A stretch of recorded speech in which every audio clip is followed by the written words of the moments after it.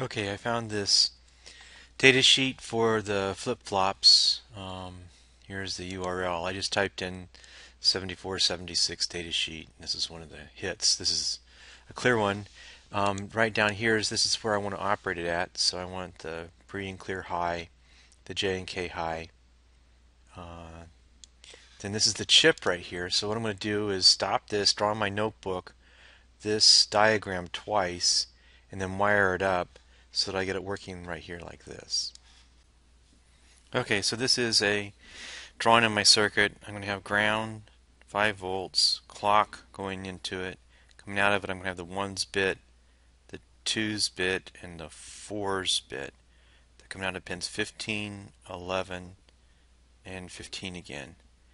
Ground's basically hooked up to 13s. And then 5 volts is hooked up to 2 through 5, 2 through 5, 7 and 8, 9, and 16. Okay, okay, you can see that I've got the two chips. I'm ready to push them into the board. They're on this um, trough right here. This is a screwdriver. Um, now I'm going to push it in. What you do is you put push in like this at an angle. Push it in, and then you feel the other side and you go over and watch to make sure all the legs are going into the holes and you push it in. Like that. Now this one, um, I can see that there's a, a leg right here that's bent in, so I've got to straighten it out. Um, let me do this with a pair of needle nose pliers because um, you don't want to break these. Ah, see, that one's getting loose. When they break these, these chips are dead. These chips are um, hard to get a hold of now because the world's not using them anymore. Um, but these are the 74 76s. I think you can see the numbers on them. At least I can. So now I'm going to begin wiring them up. Okay, so I'm putting in a wire here between pins 2 and 3. Uh, let's see, I'm having trouble getting it in. Yeah. Alright, going to do that for um, 2 to 3, 3 to 4, 4 to 5, 5 to 6. No, 5. 5 to Okay, so we're going from VCC, this is the high voltage line, 5 volts line, positive voltage, not high. and then it's going to here, which is pin 5. And then this this wire right here goes to pin 4. It's right there. And then let's see.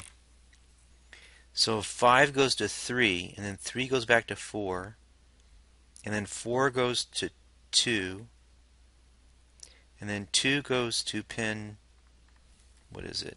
8 right here. 8 goes to 7. 7 goes to 5.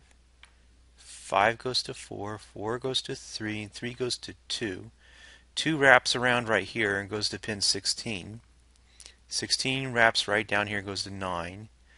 And then 9 wraps and goes to 16 right here. So that's the flow of the positive power around these chips.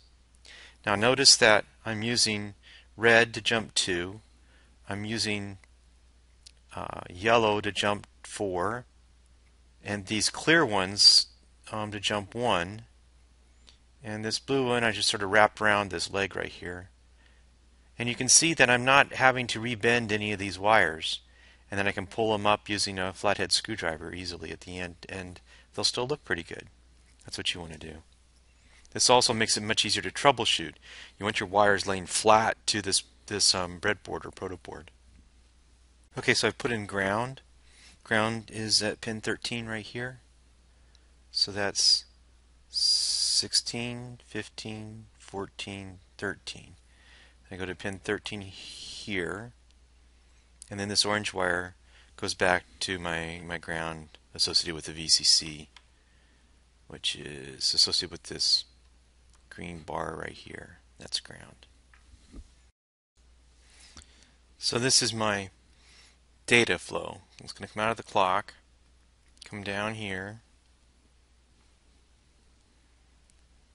through this yellow wire and come in here on pin 1. Pin 1 is going to then it's going to come out of the first flip-flop right here and the clock's going to be halved and it's going to go in here on pin 6. Then it comes out here on pin 11 and goes into the third flip-flop right here. The outputs of the flip-flops are on pins 15, so this is the 4s. And then this is pin 15 of the chip right here. So that's the 1s. And then pin 11 right here. So if we look at the 1s, this is my output. It's going to go back across the board. And it's going to go up here to 24. And then my 2s which leaves out of pin 11 is going to come through here to pin 25 and then my 4s is coming out of pin 15 out of this chip and it's coming down to 20 yeah, it's plugged into 27 I'm going to stick it into 26 okay so I've got a wire here from the clock also to 27 so I can look at the clock along with the output the 4s the 2s and the 1s